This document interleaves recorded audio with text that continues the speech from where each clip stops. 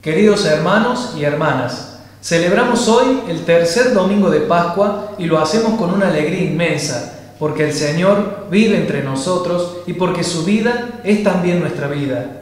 El Señor resucitado se nos manifiesta tal como a los discípulos de Maús para acompañar nuestro camino. Que la palabra que vamos a escuchar y la Eucaristía que vamos a celebrar nos mantengan en la esperanza de su retorno. Recibamos a Monseñor Adolfo Oriona quien presidirá esta Santa Misa cantando.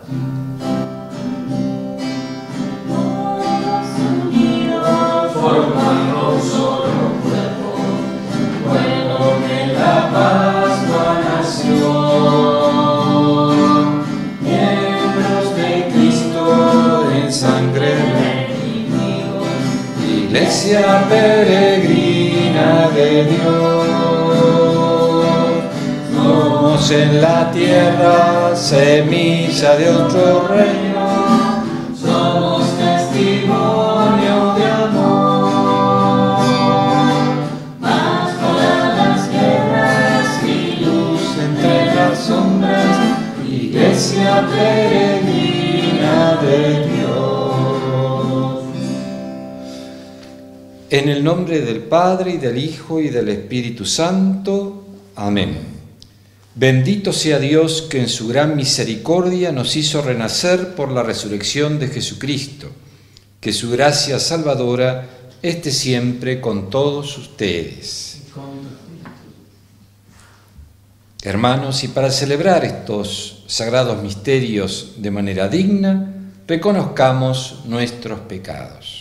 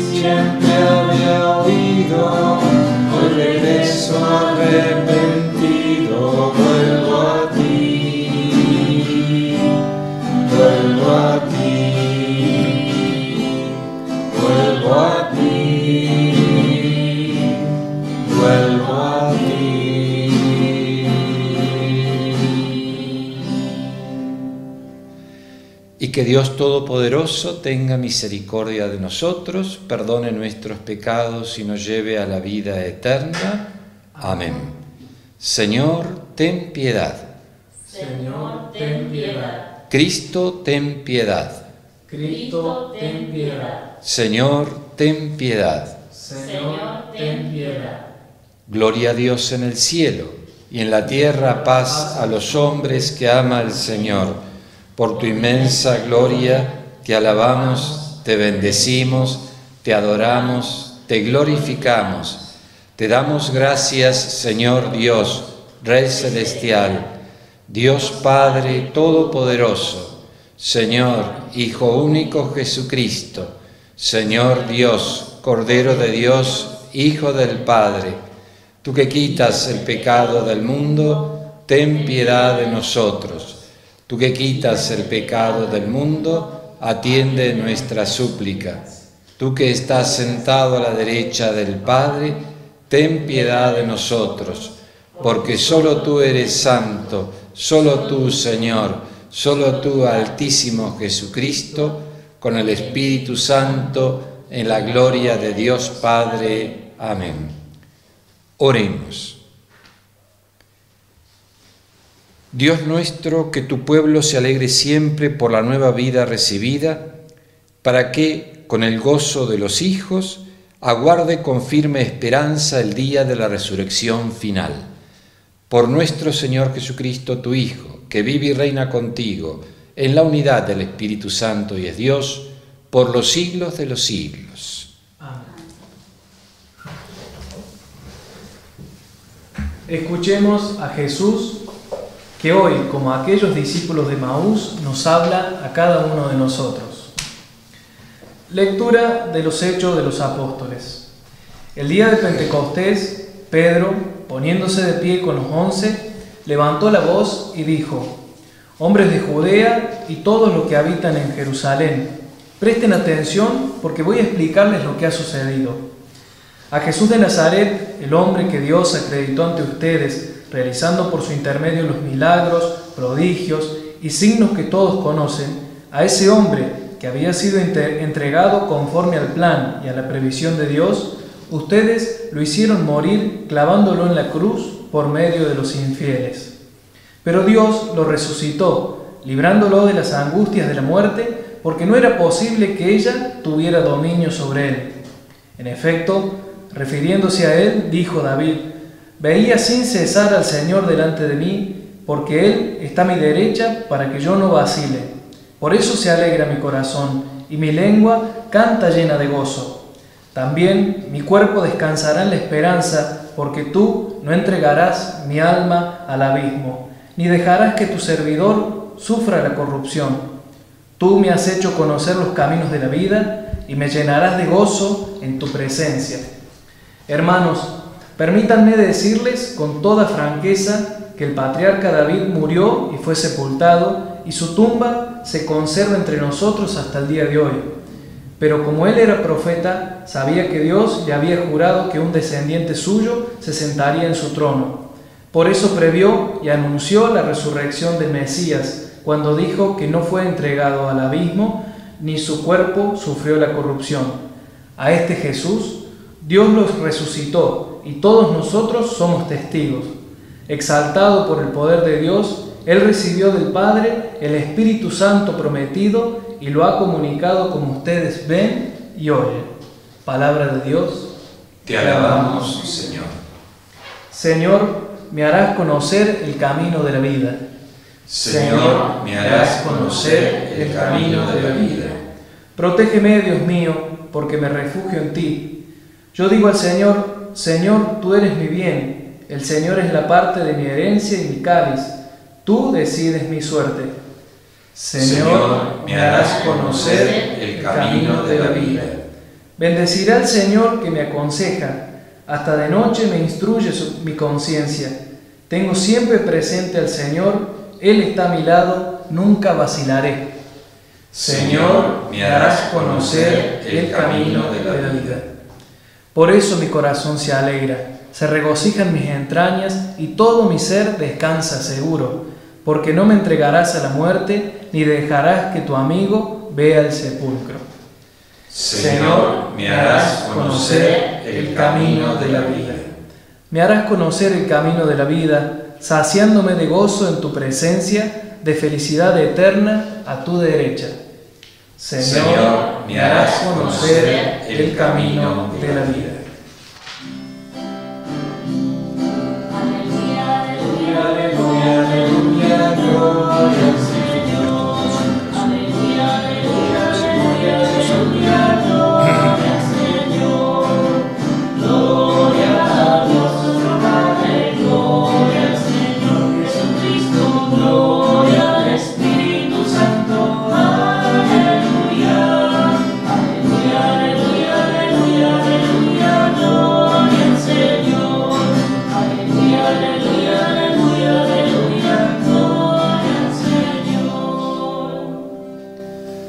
Señor esté con ustedes.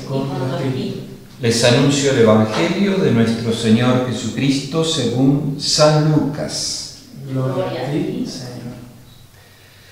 El primer día de la semana, dos de los discípulos iban a un pequeño pueblo llamado Emaús, situado a unos 10 kilómetros de Jerusalén. En el camino hablaban sobre lo que había ocurrido. Mientras conversaban y discutían, el mismo Jesús se acercó y siguió caminando con ellos. Pero algo impedía que sus ojos lo reconocieran. Él les dijo, ¿qué comentaban por el camino? Ellos se detuvieron con el semblante triste y uno de ellos, llamado Cleofás, le respondió, ¿Tú eres el único forastero en Jerusalén que ignora lo que pasó en estos días? ¿Qué cosa? les preguntó. Ellos respondieron, lo referente a Jesús el Nazareno, que fue un profeta poderoso en obras y en palabras delante de Dios y de todo el pueblo, y como nuestros sumos sacerdotes y nuestros jefes lo entregaron para ser condenado a muerte y lo crucificaron. Nosotros esperábamos que fuera Él quien librara a Israel. Pero a todo esto ya van tres días que sucedieron estas cosas. Es verdad que algunas mujeres que están con nosotros nos han desconcertado. Ellas fueron de madrugada al sepulcro y al no hallar el cuerpo de Jesús, volvieron diciendo que se les habían aparecido unos ángeles asegurándoles que Él está vivo. Algunos de los nuestros fueron al sepulcro y encontraron todo como las mujeres habían dicho, pero a Él no lo vieron.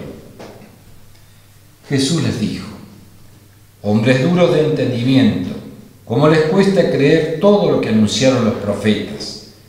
¿No era necesario que el Mesías soportara esos sufrimientos para entrar en su gloria?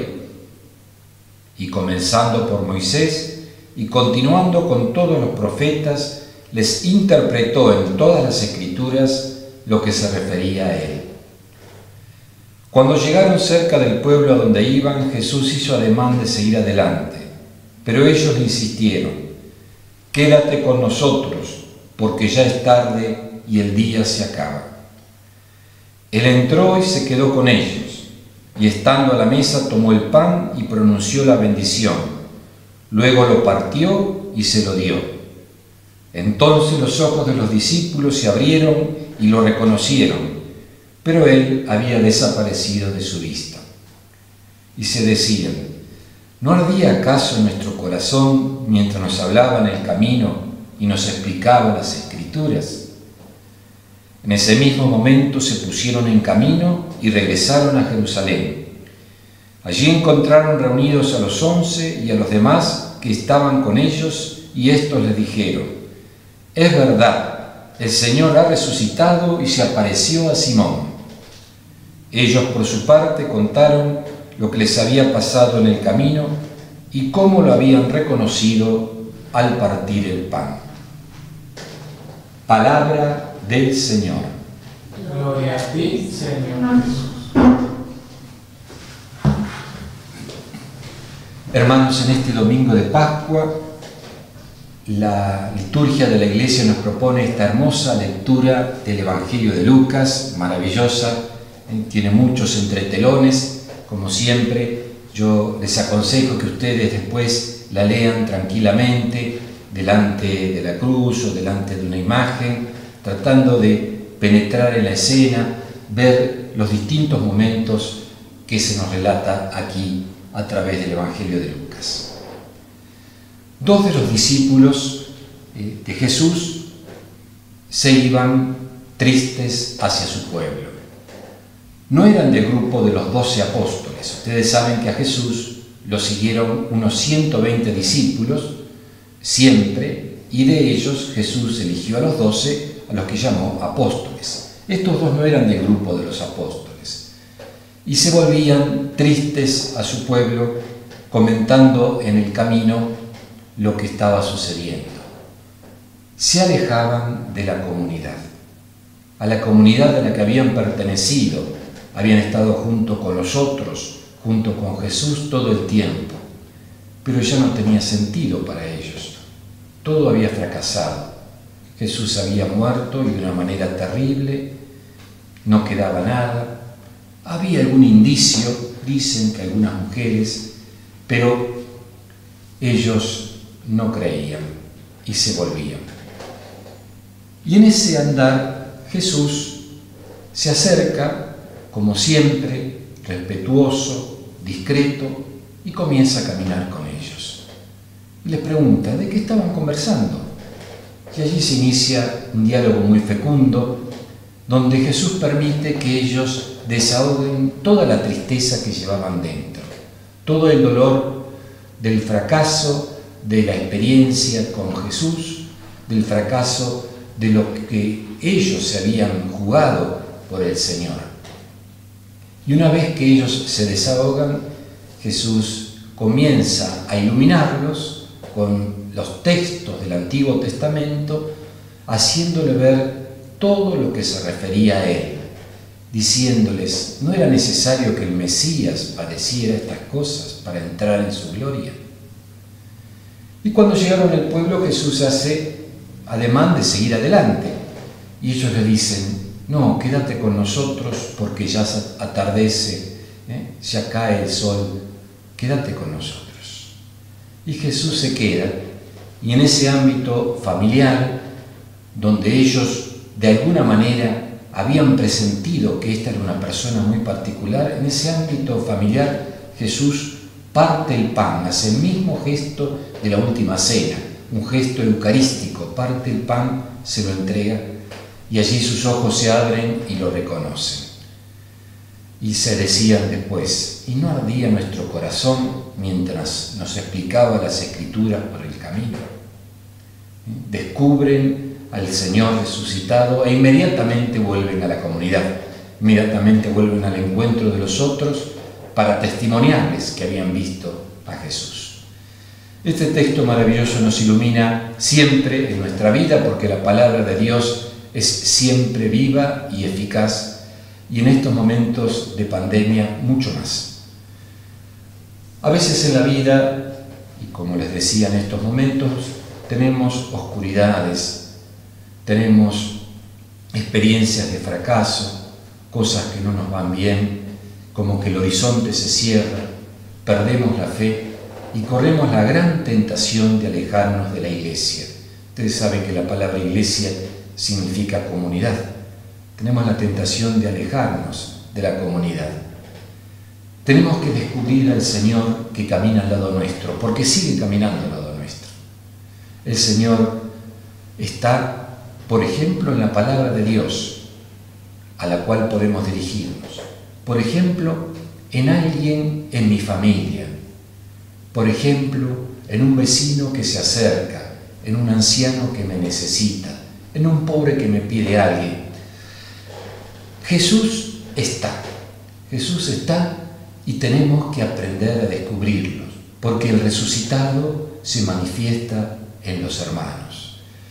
Y en ese descubrimiento veremos que arde nuestro corazón, porque ese descubrimiento nos hace salir de nosotros mismos de nuestro mirarnos al ombligo constantemente, de nuestro encerrarnos en nosotros.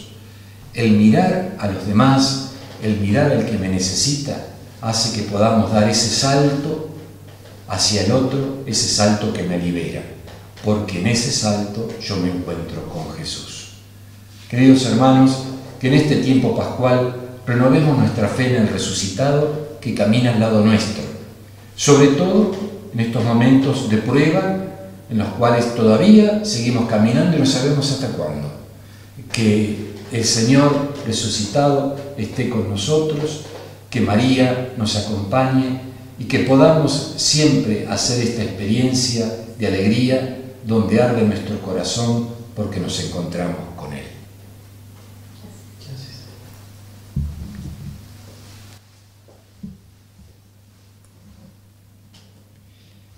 Y viviendo en la fe esta palabra de Dios que hemos escuchado, le decimos juntos, creo en Dios, Padre Todopoderoso, Creador del cielo y de la tierra, creo en Jesucristo, su único Hijo, nuestro Señor, que fue concebido por obra y gracia del Espíritu Santo, nació de Santa María Virgen, padeció bajo el poder de Poncio Pilato, fue crucificado, muerto y sepultado, descendió a los infiernos, al tercer día resucitó de entre los muertos, subió a los cielos, está sentado a la derecha de Dios Padre Todopoderoso.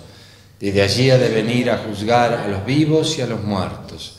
Creo en el Espíritu Santo, la Santa Iglesia Católica, la comunión de los santos, el perdón de los pecados, la resurrección de la carne y la vida eterna. Amén.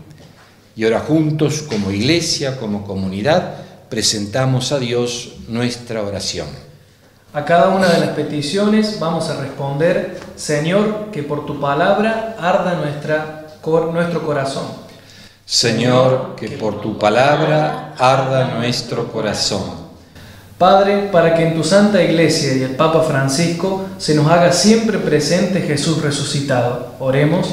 Señor, que por tu palabra arda nuestro corazón.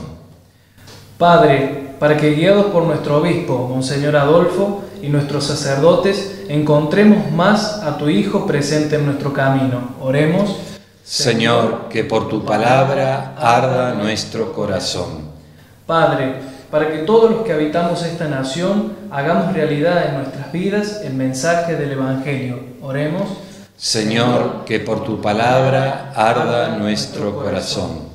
Padre misericordioso, te pedimos que esta pandemia pueda controlarse pronto y que devuelvas la salud a los afectados y la paz a los lugares a donde ha llegado.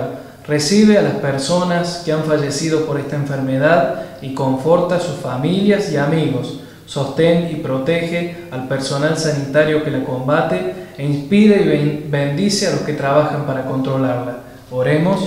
Señor, que por tu palabra arda nuestro corazón. Junto con las intenciones que hemos leído están también todas las intenciones de ustedes que nos siguen por la televisión y por los distintos medios.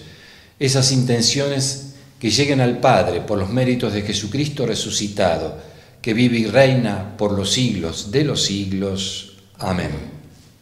Ofrezcamos al Padre Eterno nuestro deseo sincero de descubrir la presencia de Jesús en todas sus manifestaciones haciendo de nuestras vidas una ofrenda agradable a Él.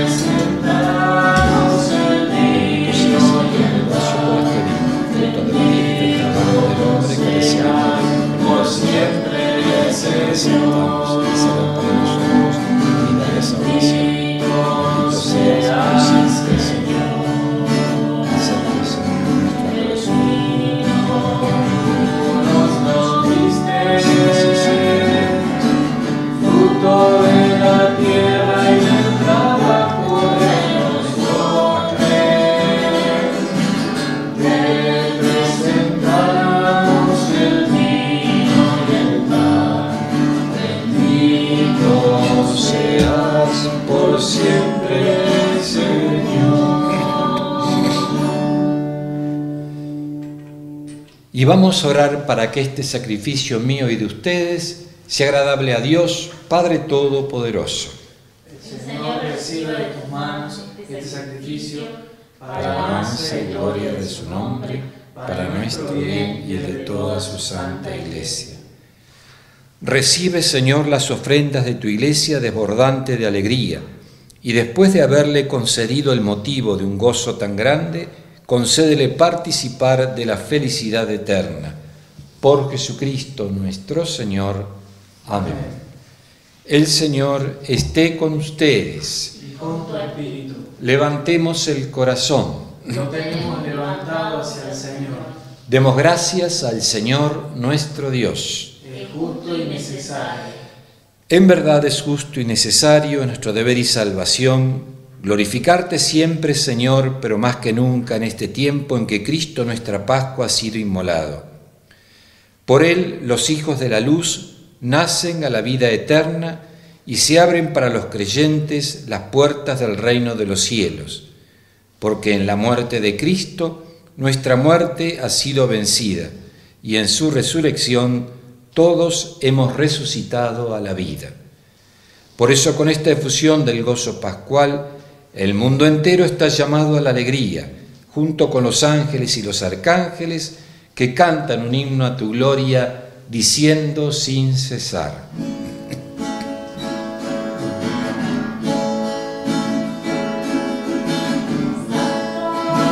Santo, santo es el Señor, Señor de toda la tierra.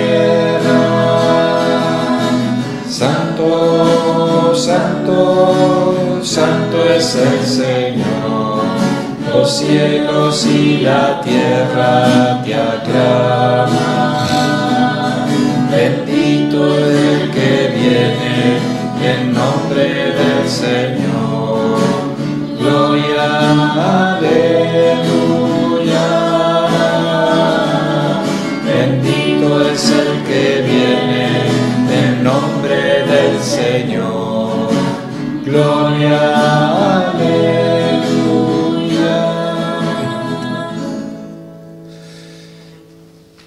Santo eres en verdad, Padre, y con razón te alaban todas tus criaturas, ya que por Jesucristo, tu Hijo, Señor nuestro, con la fuerza del Espíritu Santo das vida y santificas todo, y congregas a tu pueblo sin cesar, para que ofrezca en tu honor un sacrificio sin mancha, desde donde sale el sol hasta su ocaso.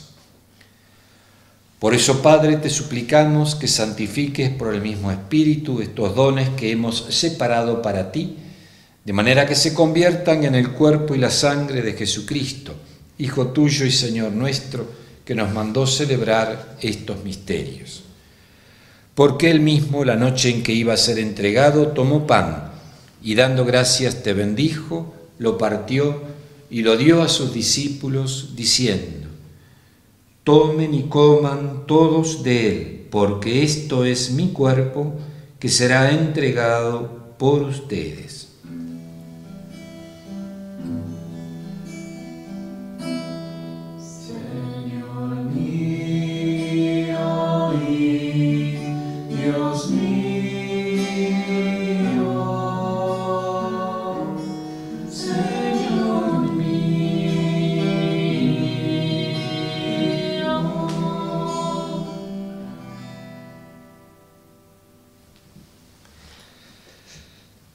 Del mismo modo, acabada la cena, tomó el cáliz, dando gracias te bendijo y lo pasó a sus discípulos, diciendo, Tomen y beban todos de él, porque este es el cáliz de mi sangre, sangre de la alianza nueva y eterna, que será derramada por ustedes y por muchos para el perdón de los pecados. Hagan esto en conmemoración mía.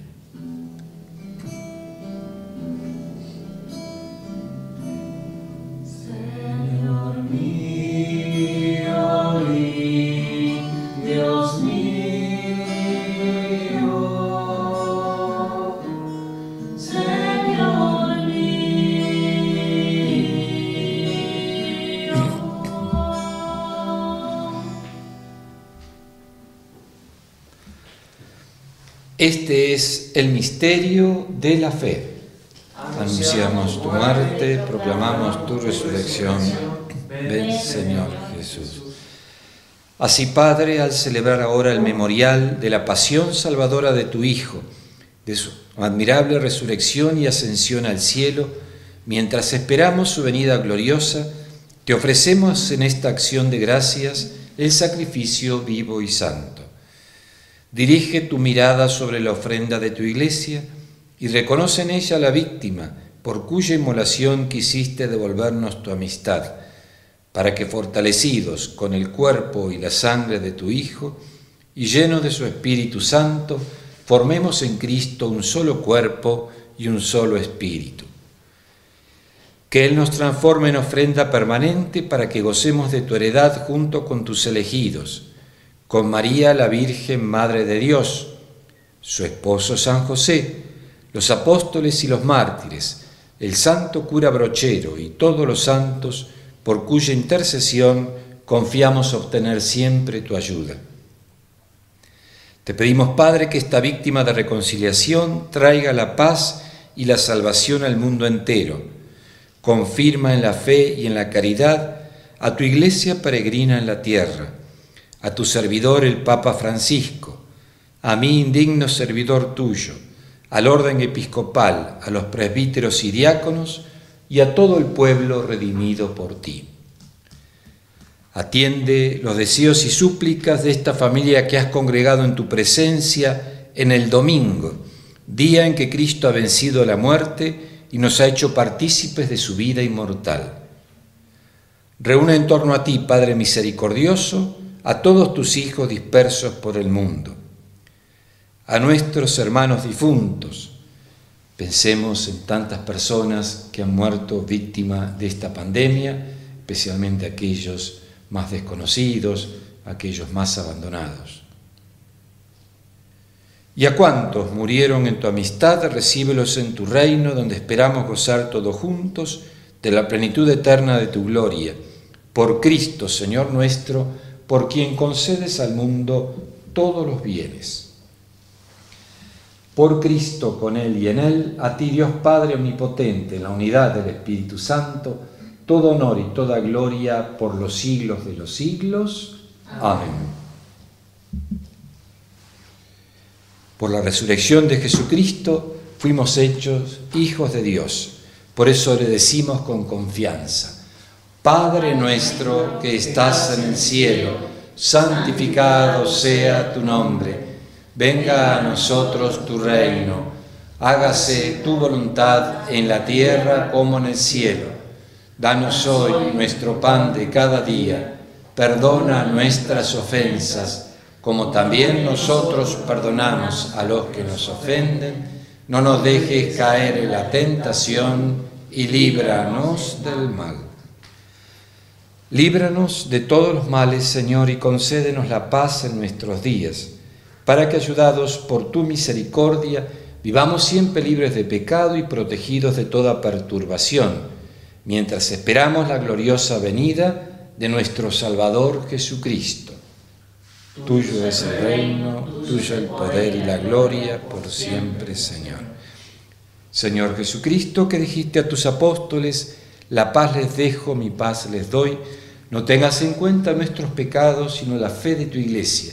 Conforme a tu palabra, concédele la paz y la unidad. Tú que vives y reinas por los siglos de los siglos. Amén. Que la paz del Señor esté siempre con ustedes. Y con tu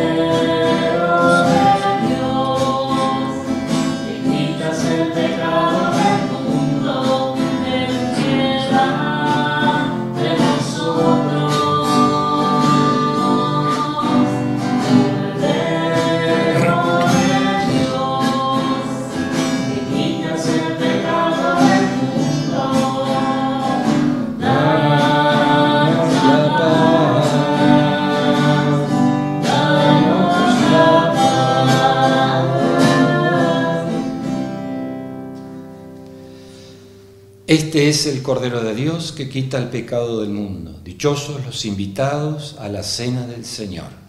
Señor, no soy digno de que entres en mi casa, pero una palabra tuya bastará para sanar.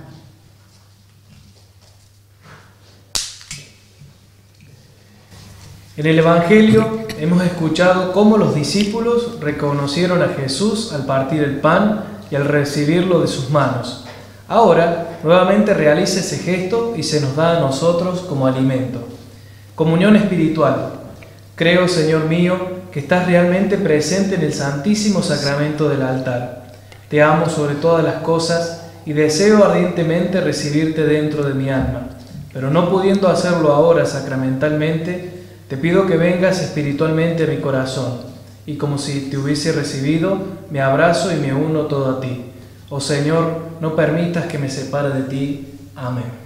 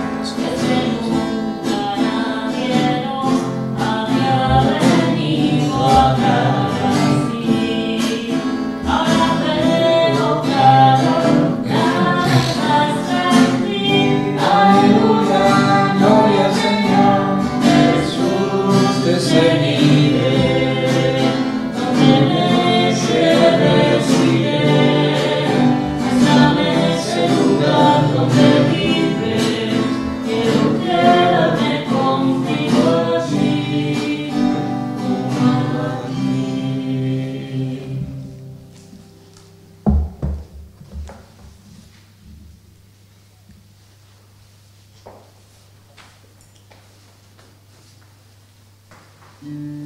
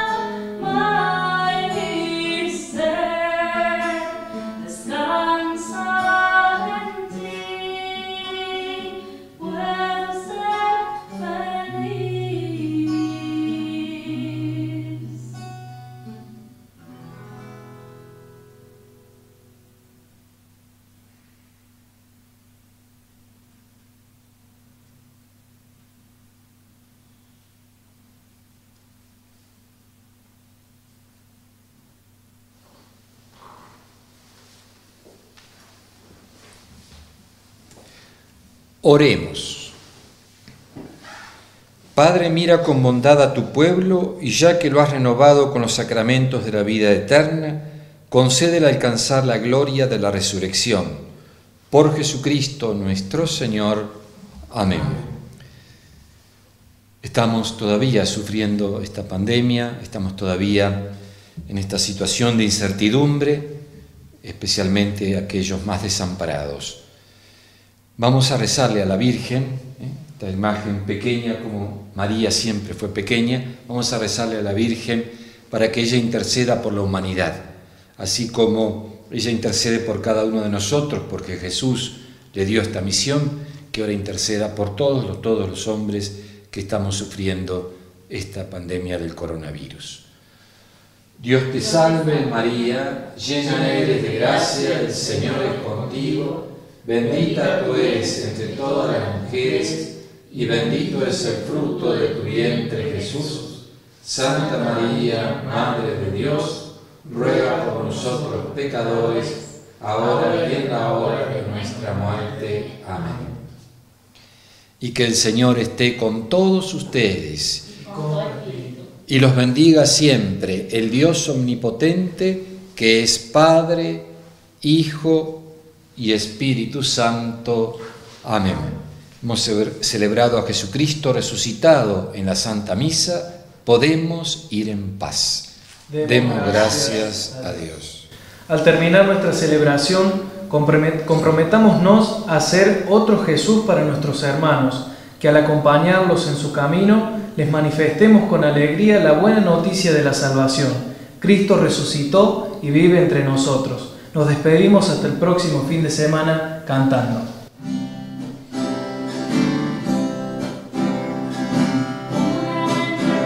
Fue la escogida, fuiste tú María la elegida, Madre del Señor, Madre del Salvador.